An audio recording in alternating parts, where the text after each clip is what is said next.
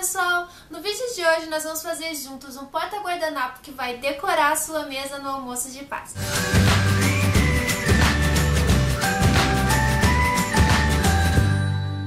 Além de fácil de fazer, nós vamos usar pouquíssimos materiais, que são eles um tecido. No meu caso, eu vou estar usando feltro porque eu acho muito mais fácil de cortar, de lidar, não precisa costurar, que ele não fica desfiando, mas você pode em casa usar o tecido que você quiser.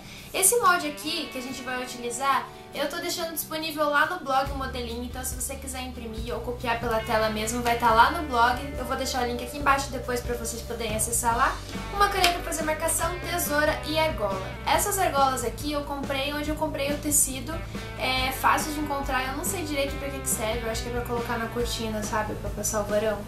Eu não tenho certeza, mas é bem baratinho, é questão de 10 centavos, nem isso. Então é super fácil de encontrar, qualquer loja de tecido tem, em armarinhos também tem, então não é nada difícil de encontrar aqui. E a gente vai começar fazendo a marcação aqui no tecido com o molde e vocês vão fazer de acordo com a necessidade de vocês. Então se vocês têm quatro cadeiras na mesa, você faz para quatro cadeiras. Agora é só cortar. Eu gosto de cortar bem rente essa linha aqui para ela não ficar aparecendo e ficar um acabamento bem mais bonito. Prontinho, agora a gente vai montar o nosso porta-guardanapo.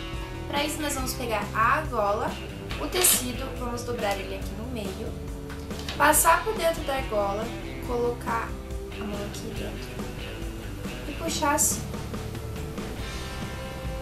E pronto, agora é só modelar as orelhinhas. E tá pronto. Vamos mais uma vez? Pegou a argola, dobrou o tecido, dentro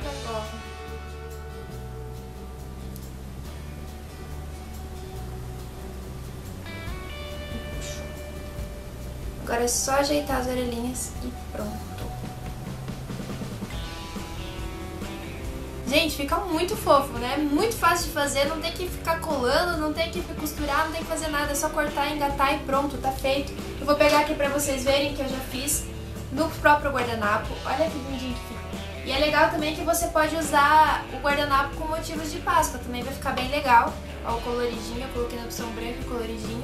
E fica muito charmoso, né? Eu tenho certeza que todos os convidados vão adorar ver a mesa arrumadinha assim, toda pra Páscoa, bem fofa.